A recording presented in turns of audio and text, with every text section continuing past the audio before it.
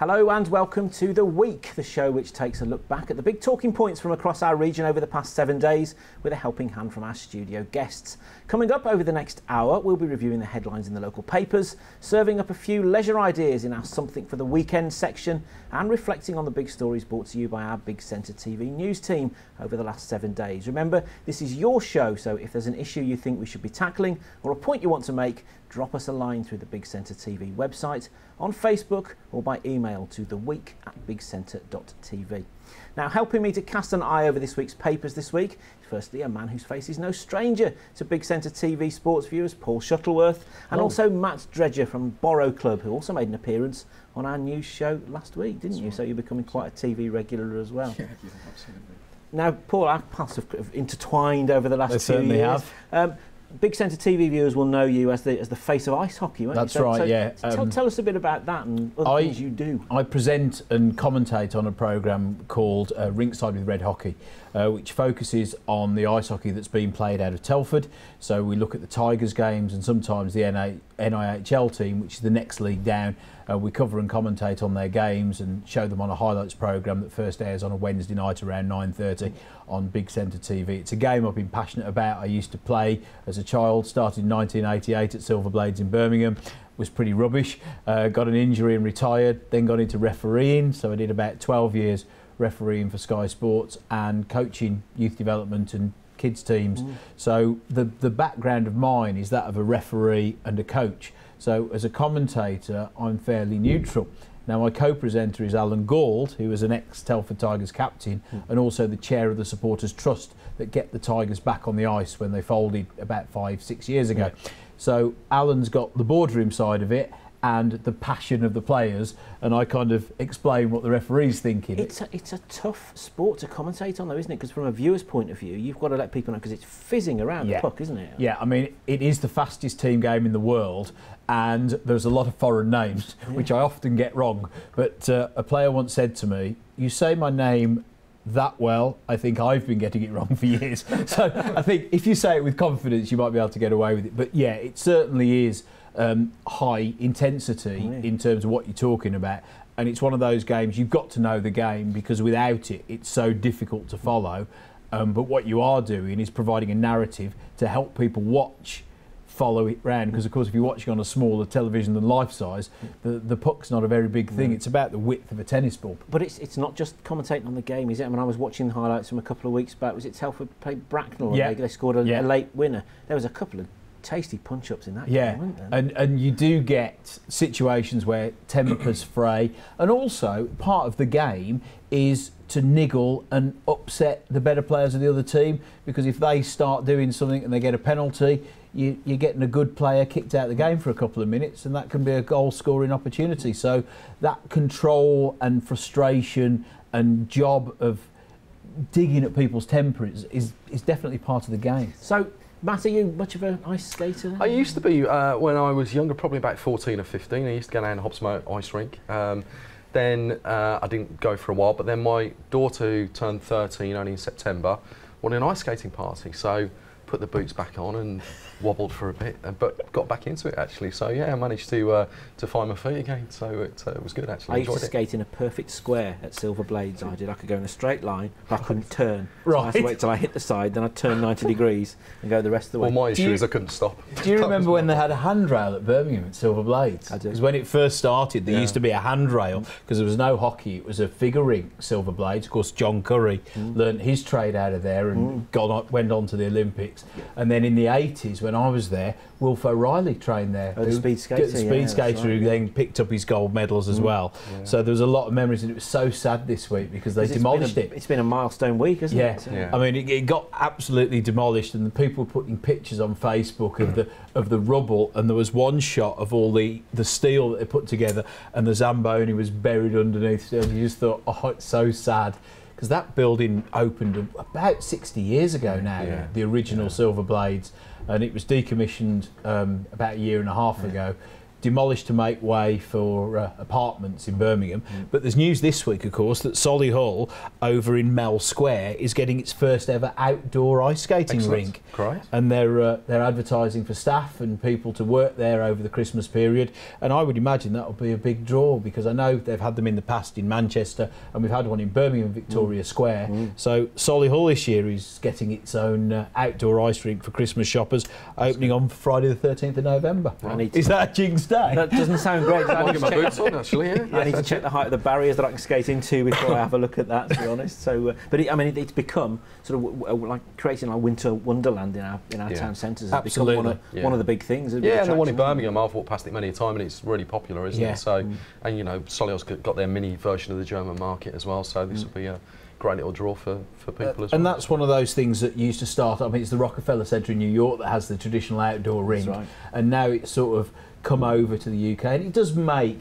those evenings out. You know, go for a drink at the German market, have yourself sort of go for go ice skating or whatever. It does make it a much more social occasion now rather than the chore of Christmas shopping. Well, that, and that's what town centres need. We hear all this talk about Yeah. why why should people go into a town centre when they could go into an out of town retail park, free parking, etc., etc. Yeah. You need a unique selling point, don't you? do, And yeah. things like this are I'd priced recommend the skating before the drinking, though. yeah, that's probably a bit. Although it might numb the pain. Yeah, absolutely. that's a good point. Absolutely. Now, talking of walking past things and commenting upon them, Yeah. last week we reported on a new bench that had cropped up in the centre of Wolverhampton that cost nearly £20,000 of taxpayers' money. Materials have been imported from China, and it's fair to say that locals weren't very impressed. Well, this week, spotlight's on Dudley, where a new bench has appeared in the town centre to honour the town's 19th century poet, Ben Boucher. So, Big Centre TV took to the streets to find out what shoppers in Dudley made of it all. I think it's absolutely marvellous. It's really nice for the town, I really do. Some people might say, what a waste of money, but it's not, it's beautiful. I think, well, I think Dudley's been ignored for quite a while, and I think it will help to bring people here when they know the way the development's going on. But it also brings, just to look at him brings back old memories. It's really nice. And do you know much about this poet in particular? I don't know, but I'm going to look it up when I go home. So tell me, what do you think about the statue? It's brilliant, it does. Great. It's a bit of history for the Dudley. And what do you think uh, uh, it will bring to Dudley? Hopefully some more tourism in there. And some more interest in that. Do you know who is the person in the statue? Not at the moment, now, because they're ready. So what do you think about this statue? Well, I think it's lovely to bring that to Dudley. It, it, it's a big improvement, but will they make mockery of him? Will they destroy him? Or will they hang things on him and make a mockery? Other than that, lovely.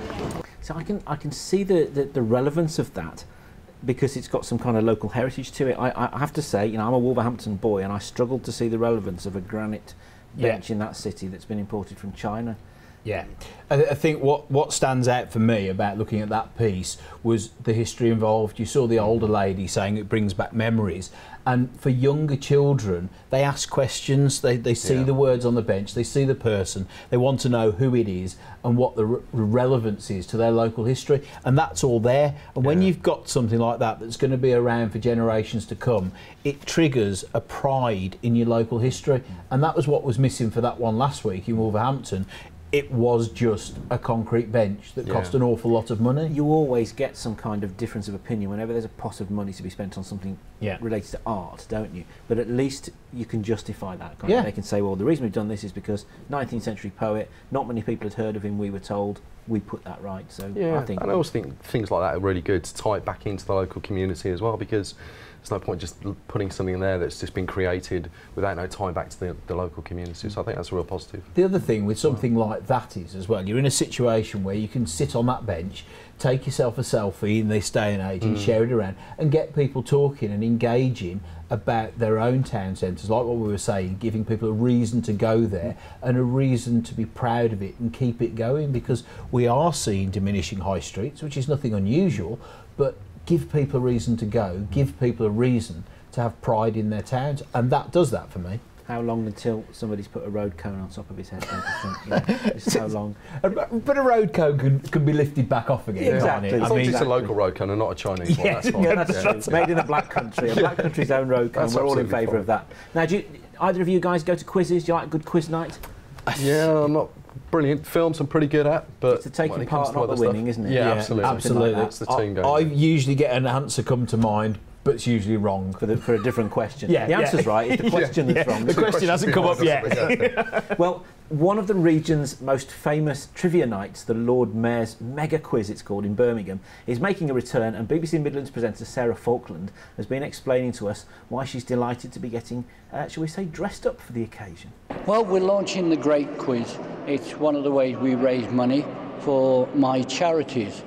So this is the launch, and hopefully, when the day comes, we'll, this place will be packed with people, all the clever devils. I don't think I'll be joining them. Look I'll be must be wandering around harassing them, but I don't think I'll be joining with some of the questions I've heard they ask. I think people get involved because a there's a lot of people out there that love charities, support charities, and want to get involved.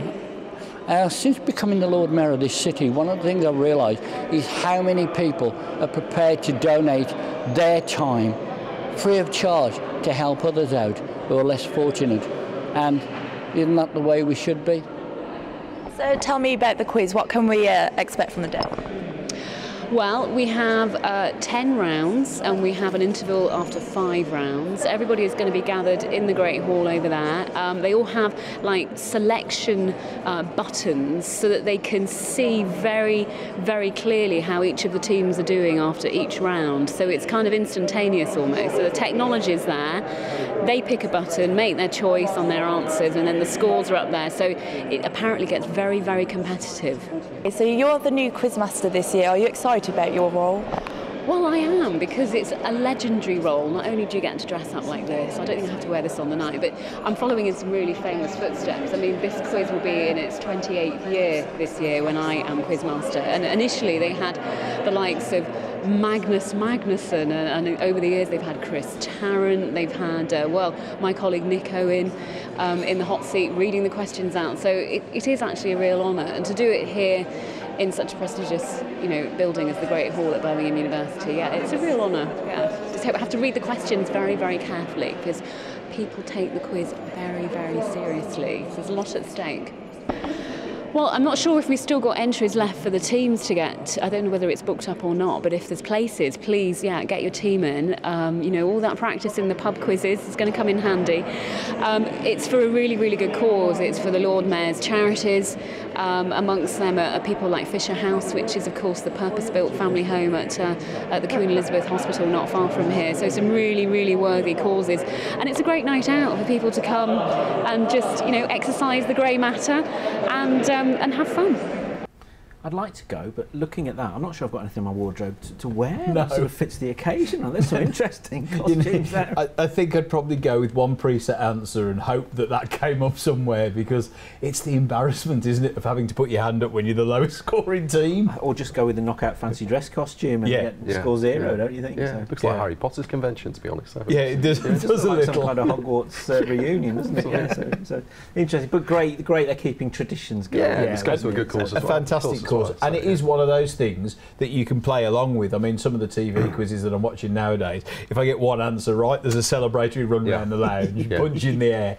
But uh, you you can get involved, isn't there? And that's uh, the things that uh, are maybe missing a little bit going out to events like that and, and, and doing a quiz, whether it be in your local or in, in the town hall. Yeah. Now, a quick one just before we go into our first break. Yeah. Matt, you've been looking at the, this week's Black Yeah. Country Bugle. There's a real heartwarming story here, isn't there? Yeah, there is actually. There's a chap called Patrick Patrick Hayden who uh, I think 46 years ago uh, uh, sculpted uh, a crystal Madonna, uh, which was uh, I think donated to to a church, uh, Hartlebury Castle actually, the chapel at Hartlebury Castle, and he thought it would been lost or broken or, or, or damaged in some way, uh, but it's kind of come back to him now, which is really heartwarming actually to kind of come full circle when he developed, you know, sculpted this thing 46 years ago.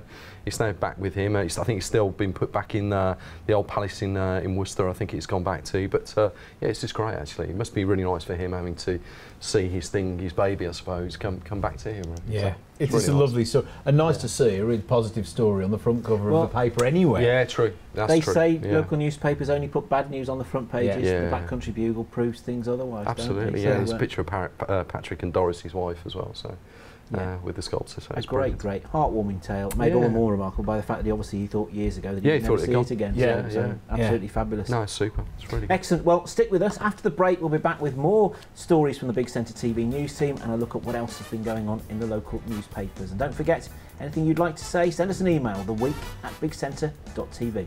Back in a moment.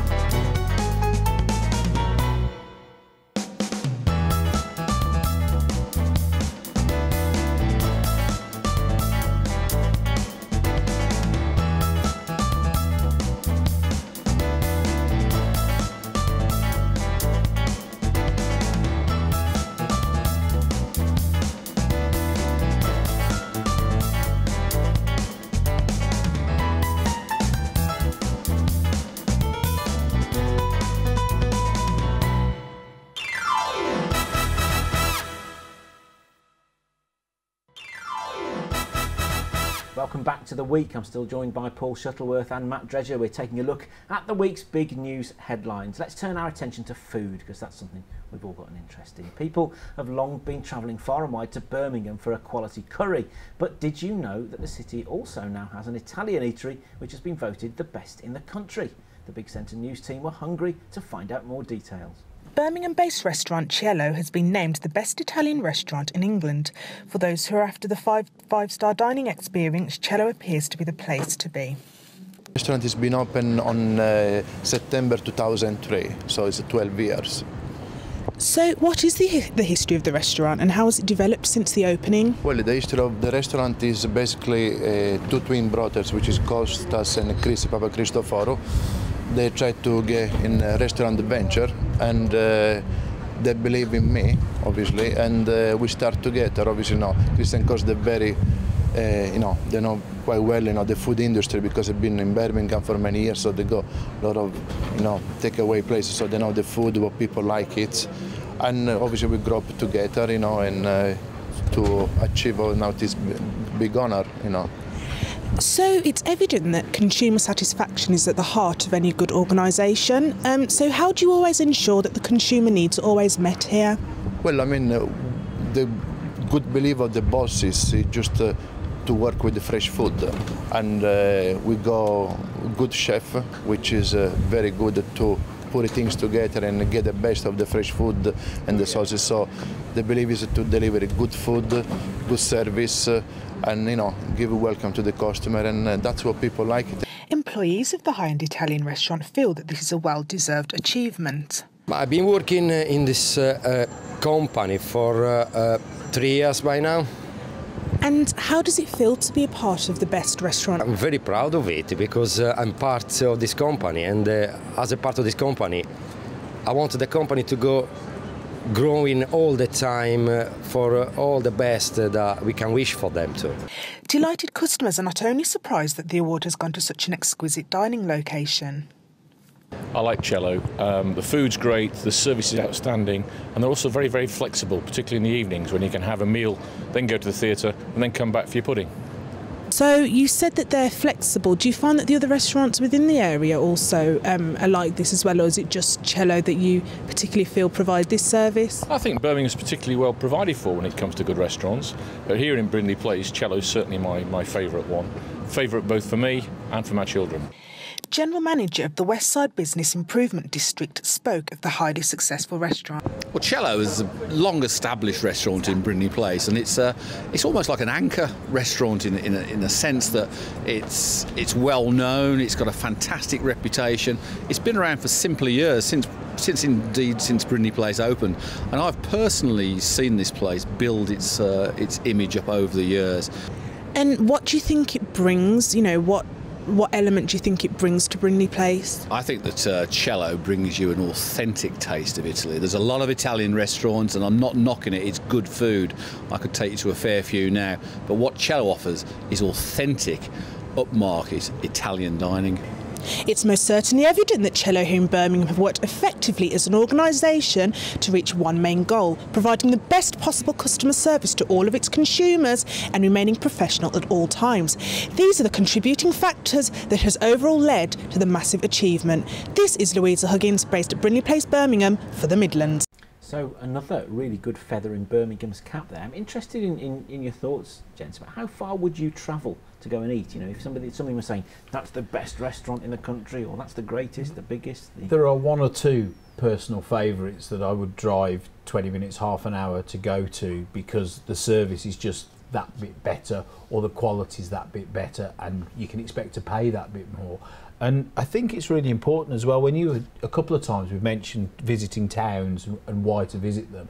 And restaurants is a great one because if you've got a good local chef sourcing local ingredients that cares about what's going into the food, you can really tell the difference. There are a lot of chains, cheap. There are a lot of chains churning out good quality, affordable food, but there's also more and more venues now going that extra mile with local ingredients and caring about what they put on your plate that really give you a reason to go there. And that's a great example of somewhere you can go for that special occasion if you want to spend a little bit more and visit somewhere that you may not normally visit. I think the more of those restaurants we can get doing different things. I think the problem at the moment is a lot of the chains have got a very like for like menu mm. and there's not a lot of choice and variety and if you can go somewhere for a really good curry or a really good Italian or you know you can go for ramen or noodles whatever it is that you you would like to try then having those good passionate chefs makes a real difference for me. Would if if you saw a restaurant that said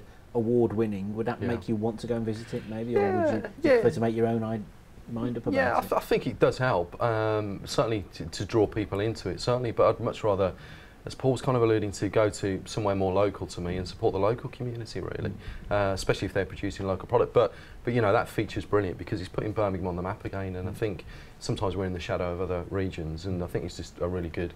Another thing for put a feather in our cap, really, you know, with the Grand Central opening recently and that type of thing. I so. mean, there- to, to summarise, you know, and to, to emphasise rather just how much there is going on. Interesting story in the Birmingham Post here this week, revealing that Birmingham attracted more visitors than ever before last year. Three million extra people headed into Wow. the city. Thirty-seven point two million visitors now came to Britain in the past. Uh, year and that's 10% more than any other city outside of London. And when you put together all of the things that are going on things like Christmas markets the new uh, air routes into Birmingham Airport different locally flavoured developments Resorts like World these as well, restaurants yeah of of course course, so, that's, yeah. that's another one isn't it It's Yeah. interesting as well when you look at the, the opening of John Lewis at New Street Station. It takes me back to the 80s when J- John Lewis was open at the top of Corporation right, Street, and, and you had all those shops. You had John mm. Lewis, you had Rackham's, you had all the big department stores, and now you've got Selfridges and, the- and the new developments. So suddenly you have got the best selection of shops. We had a we had a resurgence sort of in the late 90s where we didn't have much better than any other smaller town. Whether you went to Sutton Coldfield or Walsall, you could get everything you need. Mm. Suddenly Birmingham's got a bit more to offer now. Yeah. So that term of catching the train uptown to do that extra shop Yeah. or getting something a bit special or a bit different or something you can't get in your local town mm. gi- gives you reason to visit those two places. And I think it, it keeps coming back to, doesn't it, having a reason to visit, whether it be Birmingham or Sutton Coldfield or wherever. Yeah. Well I mean that, that resort world 150 million pounds are spending on that Yeah. aren't they I mean, Disney Express and yeah, Star I mean, I'm, I'm just looking at the picture of it now. It's amazing, really. It's uh, yeah, 12 stories high building, and uh, you know, it's the first of its kind in Europe. And it's got a casino, four-star hotel. It's going to have 50 outlet stores, restaurants, conference centre. So, yeah, again, it's just another pin in the map for you know another feather in the cap, I suppose, for for our region, really, because you know we've Absolutely, got the Grand Central now. We've got good news stories about you know the, hmm. the restaurants and so on, and this is perfect for you know the NEC type of activity Yeah. that goes on there with the conferences. Supports Birmingham Airport as well. So these types of things around the Birmingham area and the Midlands area in general, just fantastic, really. So no, it's really really pleasing. excellent Uh, lots of good news it's nice to Yeah. talk about lots Yeah, of it good is news good. stories Really this nice, I, th- I think as well, when you look at a development like that, that that's on the NEC complex, it's definitely a destination venue. It's somewhere Yeah. you go. Mm. You know, if you're going to an event at the NEC, you can have a look around there. I, the last pop concert I went to, you know, you saw the development. Thought, oh, you know, you could Yeah. come in the middle of the afternoon and go over there first and make more of a day of it. I think there will be businesses that feel threatened by it. You know, if the, you, your local small business in, in in Solihull or wherever that you think you might be impacted. But I think if it's managed right, you can also use places like that to promote those smaller local towns and places to Absolutely, go to. yeah. You know, people visiting Stratford or Ironbridge for, for heritage, as long as those new developments are promoting what else our area has to offer, Sure. I think th- there's something to be pegged on it, whereas it's seen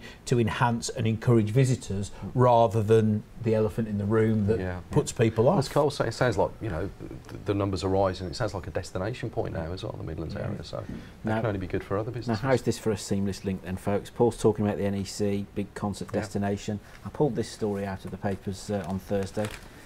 It wasn't the NEC, but it was another big concert hall. Wolverhampton's Liam Payne has apologised to fans after One Direction.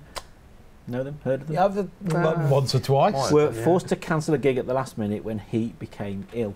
The, the, the big furore over this, this happened at, happened at Belfast, is that all the fans had gone into the into the auditorium, they'd paid for their merchandise, they'd had their drinks, they'd watched the support act, and only then did One Direction actually announce, "Sorry, Liam's ill here." It, it just leaves it left a nasty taste, didn't it? Really? Yeah, it's a bit of a poor show, really. Yeah. How many times have we been feeling not very well and thought, oh, I'm going to be all right for work. Oh, I'll be all right. And then two hours later, you think, this ain't getting any better.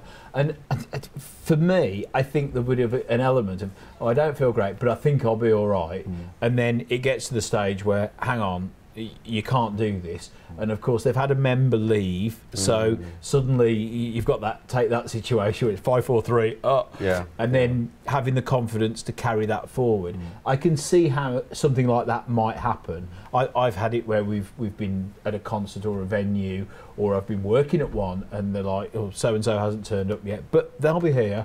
And you think, will they? And sometimes they are, and sometimes they aren't, particularly nightclub appearances and things like that. And I think y- you've got a situation here where he's saying, "Oh, I think I'll be all right.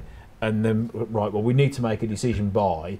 And actually, maybe he's guilty of trying too long to do it rather than saying at 10 in the morning, I'm, I ain't going to do this. Yeah, it could be could be a case of that really that he's just so passionate about going on stage that he might have called it off at the last minute. But it's a shame for the fans. I, I think, if more than anything, it was know. more of a bit of a PR gaffe, wasn't it? That maybe Yeah. some members of One Direction didn't at least go onto the stage Yeah. and say, "Sorry, folks, Yeah, nothing we can do. Yeah. We'll give you, you know, we're going to put another date on." It was the fact that they didn't even see them, and there was, you know, young girls in tears, and I, I don't doubt for a minute Liam, you know, genuinely was ill and couldn't go on stage. I think if they had their time back again, they might might Yeah. have done it just a I little think bit they different. probably should have called it off earlier. yeah. how, how, how you handle it and how you tell people. But Mm. again, you know, that, that's the beauty of the live concert. You can get an artist who's on top of their game, you can get them not feeling great, Yeah. you can get great performances, and you can get not so great performances when you go and see an act. I mean, that takes me back to Madonna on the Brits doing this wonderful performance and ended up being Head over heels. Uh, quite, quite Unintentionally. literally. Yeah. Well, we'll take a break now for the Big Centre news headlines, but when we come back, we'll find out a little bit more about Matt's Borrow Club.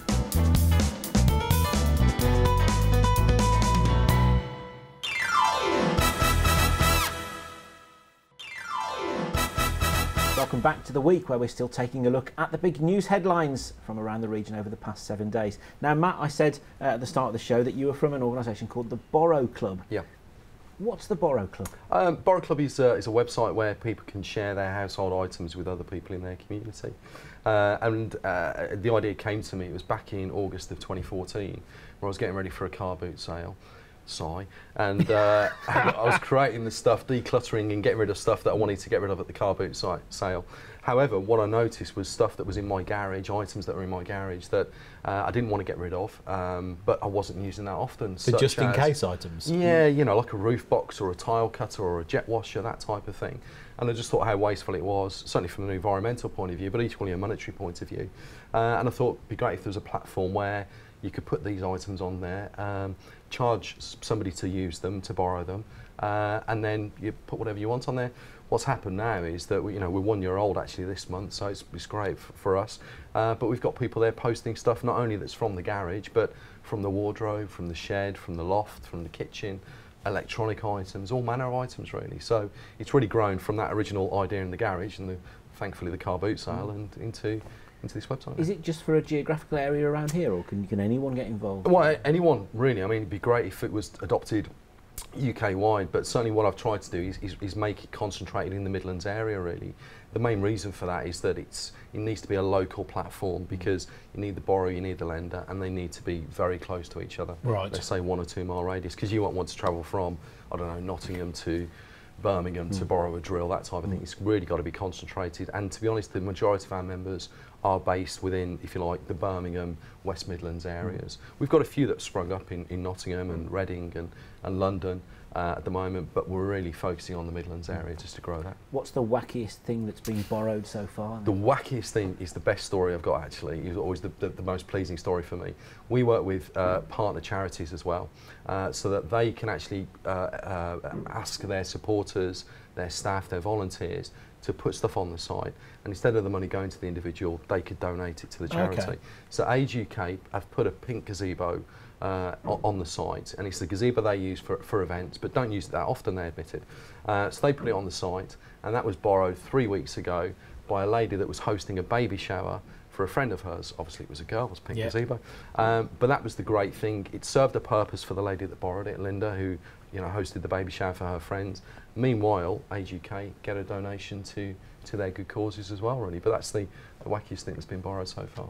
I mean, the, the, thing that stands out for me with that is as well when you're looking at events and you're looking at you know doing a fun day or one of these annual events where you need God knows how many gazebos or trestle tables. Yeah. Actually, if you can get together, even if it's you know almost like parish councils, yeah. sharing resources mm. would make a big impact on how successful events could be. Yeah, absolutely, and and it's it's for those types of items which you own but you don't use that often that you're happy to put on the platform.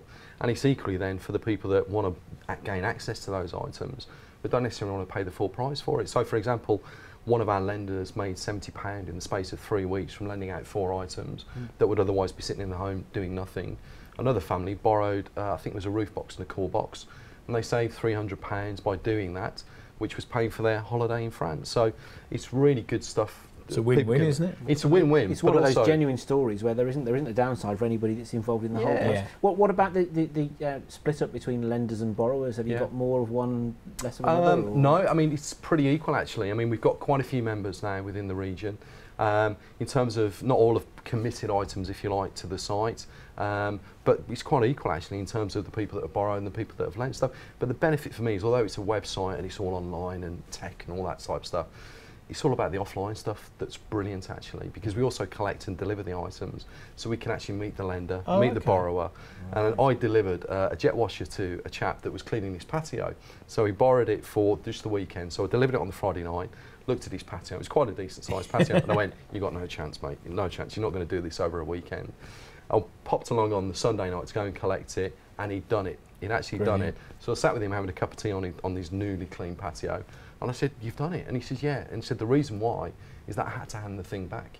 If I'd have bought this item, I'd have probably stopped halfway Dragged through, the job out. had a cup of tea, watched the football, and not, wouldn't have happened at all really. But he got it done within the. the you see, that's frame. always my excuse for not finishing the DIY around the yeah. house because I don't yeah. have to worry about it. I can do it any time, can't yeah, I? Absolutely, yeah, absolutely. So, I've got a shed full of half-done things. Yeah, yeah. So the, the, the, connection thing is great between the community, mm. and, and, that's what I think may, maybe tech has kind of driven a wedge through community mm. a little bit, and I see this as a piece of tech that's bringing mm. the community back together as well. So, so, if people want to find out more about Borrow Club, yeah. how can they do it? Uh, go, go online to our website. It's probably the best thing to do, or look at our Facebook page. But if they just type in www.borrowclub.co.uk, no W in the borrow bit, they'll be able to see what it's all about really. And please, you know, sign up and join, uh, post your items on the site because we're getting searches from all over the country for all manner of things. Mm -hmm. And if you follow us on Twitter and Facebook, we're constantly putting feeds out there to say somebody in Walsall wants to borrow A and X yeah. that type of thing. So uh, we're constantly putting messages out there. Fabulous idea. It, it's great for those those annual jobs, isn't it? Cleaning yeah. out your guttering or or you know scarif- the slabs scarifying your yeah. lawn or whatever it is that you need specialist equipment to do. But as you say, sometimes you use them less frequently than annually. You do, yeah, and, and absolutely, it's a good try before you buy service as well. So, for example, if you're going camping. Or there's a GoPro on our site, and they're not cheap. They're about three or four hundred pounds. Yeah, yeah. But if you really want one, what you could do is actually borrow it from one of our members, mm. use it in the real world. I think it's £10 a day. Use it in the real world, see if you like it. If you don't, you haven't wasted the three, four hundred pounds. If you do, okay, you've paid a little bit more than you would if you bought it. but you've made an informed purchasing You've decision. tested it, And you? camping is a great point of that. If Yeah. you go to a camping trip and you bought all the stuff, but then you don't like camping, Yeah. what a waste of money. You Yeah. could actually borrow it from our people, our members, and then if you like it, great, go and buy your own if you wish to. Uh, but if not, then you haven't wasted hundreds of pounds on something you're not going to use that often. Excellent. Great community service. Talking of which, Thank you. I like, love this story this week about two local ec- electricians who were fitting a security system at the local Royal British Legion and they thought just another day's work. But the way in which they've actually helped the branch at Kingswinford has earned them a place on a shortlist for a national award. Have a look at this. Meet Mark Deely and Dean Wildblood, co-owners of a Dudley-based electrical company which has caused quite a spark and is now in the running to be crowned Britain's top tradesperson. it's nice to get sort of recognition for the, the hard work we've we've been doing. Uh, and just pride, basically. Yeah, it's nice to be nominated and uh, get this far. I just happened to be in the Screwfix this year and saw the form, thought I'd fill it in and see. Um, we had to put forward a reason why, and we just put down that we'd done the, the work for the British Legion after they'd been broken into. Um, we mentioned that we do the work with Dudley College with their students, and it just seemed to go from there. The competition, sponsored by Screwfix, will see Mark and Dean go head to head with four others. And if they don't get those wires crossed, they'll be heading to Wembley Stadium for next month's final. I was surprised. I didn't think anything had come through once I'd sent the, the form in originally. I didn't think we'd hear anything again, so I was quite surprised when we started getting calls and it seemed to steamroll from there.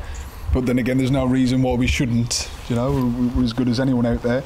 But for Mark and Dean, winning this award means much more than just getting a prize at the end of it all. Immensely proud. Would it be good to show that you know we, we're from the area and, and that's how far we can go? And going up against, I know the, the guy who won last year was from Ireland, so. How was he? it's not like it's a you know just a small local competition. So would it be good to show that obviously this area have got good tradesmen?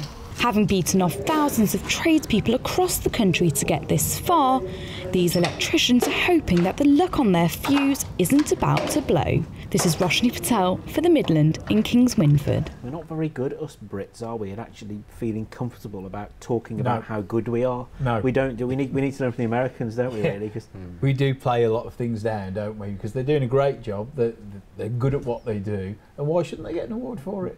It, it's, it's a typical pride in the community, isn't it? So people Yeah. who think they're just doing nothing remarkable, and yet Yeah. actually they're transforming people's lives, and, and, Yeah. and they're oblivious to it, aren't they? sometimes? Absolutely, you know, a couple of local guys doing a great job and helping people out by the sounds of it on the way as well, so they deserve the recognition, really.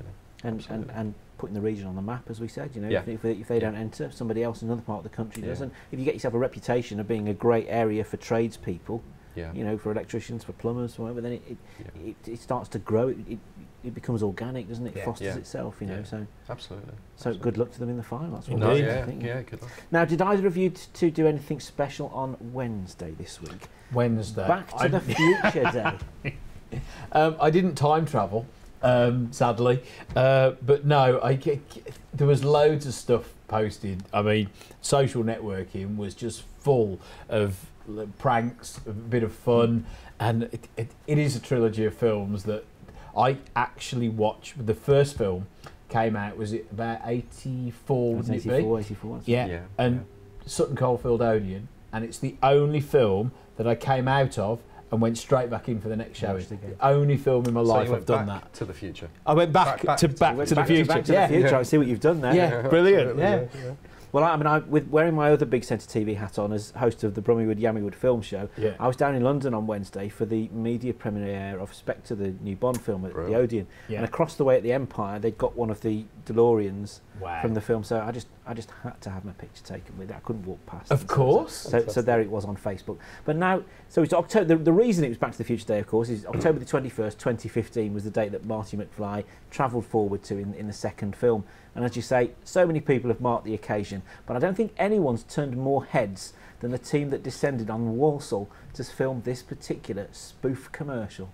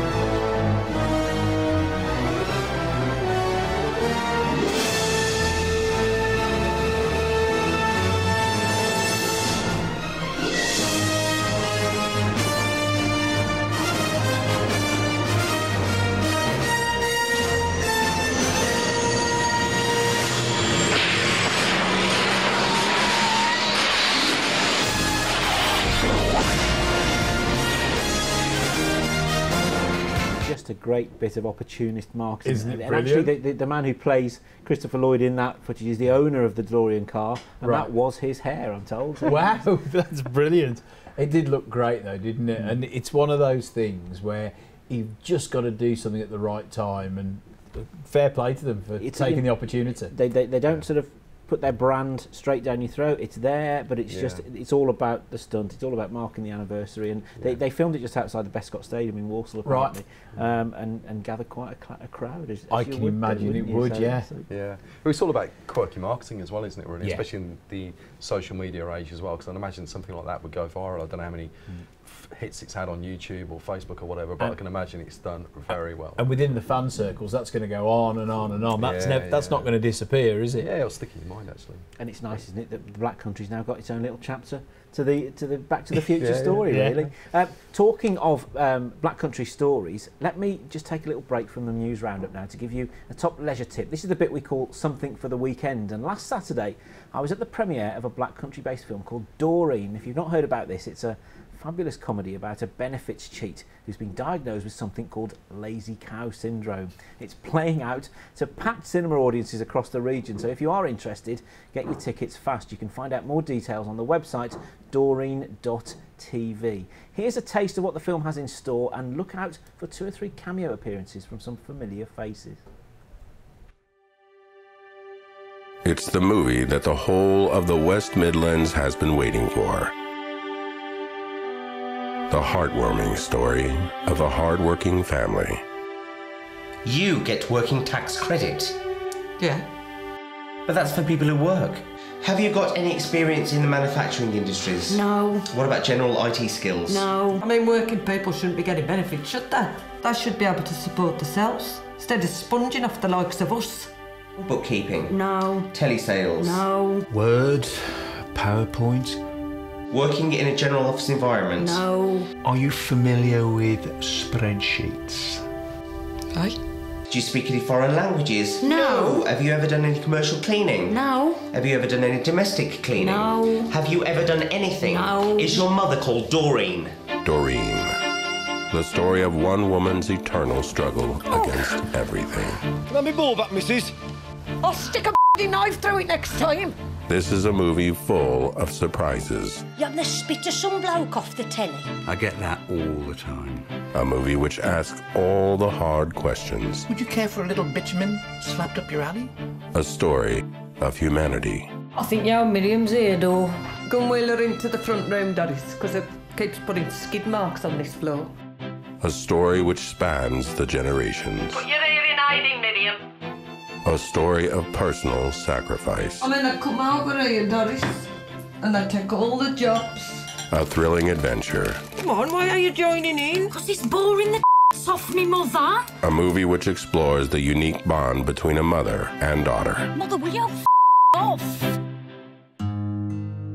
From Flying Ducks Films comes a movie that speaks to the nation, even though most of the nation won't understand a single word. Oh, I ain't very cakey neither. Am you cakey, Miriam? I is, if it's a cakey.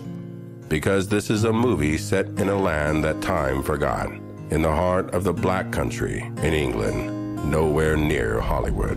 Where am we, Jack? West Bromwich. It's the feel good movie event of the year,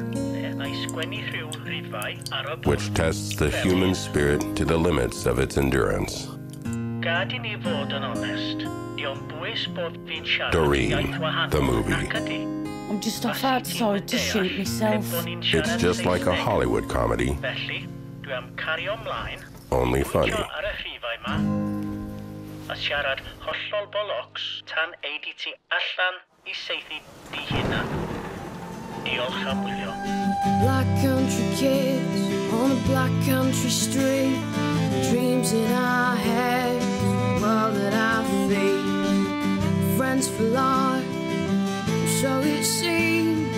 Making our plans, living our dreams. One day we'll be famous. Movie stars with our Beverly Hills mansions and big flash cars.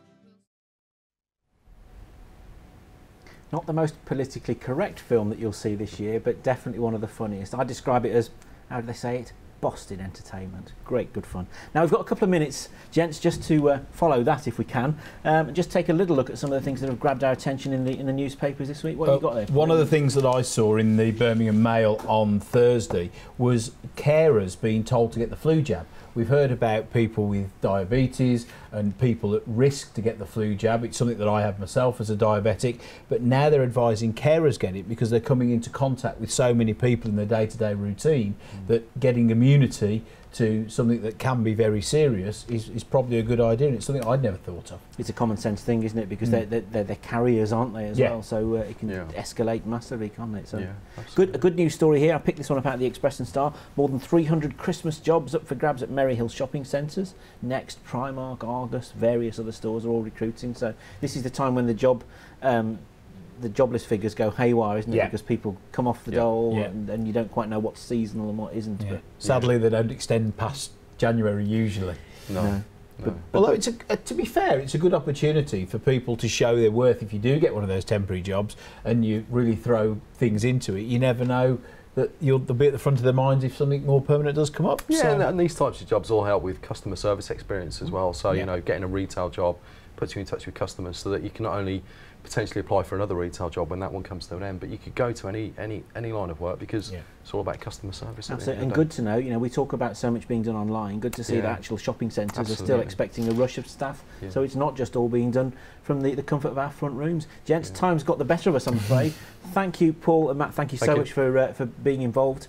Um, and hope we've uh, we've touched the story that you thought was an important headline this week. Don't forget, Bob Hall and the rest of the news team are with you every weekday, bringing you the latest headlines from across the Birmingham and Black Country region. We'll be back again on the week, same time next Friday.